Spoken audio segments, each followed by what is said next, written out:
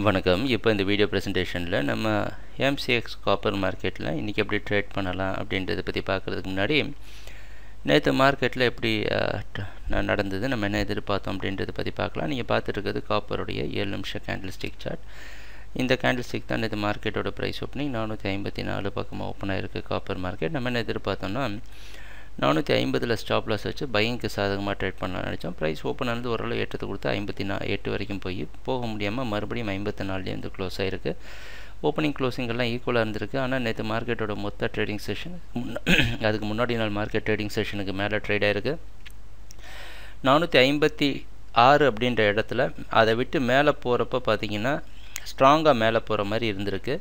ஆனால் கீழே வரப்போ அதை விட ஸ்ட்ராங்காக கீழே வர மாதிரி இருந்திருக்கு. செல்லிங் பையிங் ரெண்டும் ஈக்குவலாக இருக்குது இன்றைக்கி மார்க்கெட் ஐம்பத்தி ஐந்து பக்கமாக ஓப்பன் ஆகிறதுக்கு வாய்ப்பு இருக்கிற மாதிரி வெளிநாட்டில் இருக்க காமெக்ஸ் மார்க்கெட் வச்சு பார்க்குறப்ப தெரியுது. இன்னும் நம்ம டேஞ்சரான இடத்த விட்டு வெளியே போகலை. ஒரு ஒரு மாதிரியான ஒரு ப்ரைஸ் ஆக்ஷன் நம்ம நிற்கிறோம் ரிஸ்க்கான இடத்துல இருக்கிறோம். ஏதாவது ஒரு பக்கத்தில் ஒரு மிகப்பெரிய ப்ரைஸ் ஆக்ஷன் நடக்கும் அப்படின்னு தெரியுது. அது பாசிட்டிவாக பையிங் சைடு இருக்குமான்ற சந்தேகத்தில் தான் நம்ம வந்து பையிங்க்கு சாதகமாக இப்போ ரீசெண்டாக மாறி இருக்கிறோம் ஏன்னா செல்லிங்க்கு சாதகமாக ரொம்ப நாளாக இருந்தோம். எந்த ஒரு பெரிய செல்லிங்கும் நடக்கலை. அதனால் விவரமாக பையிங்க்கு சாதகமாக மாறி இருக்கிறோம்.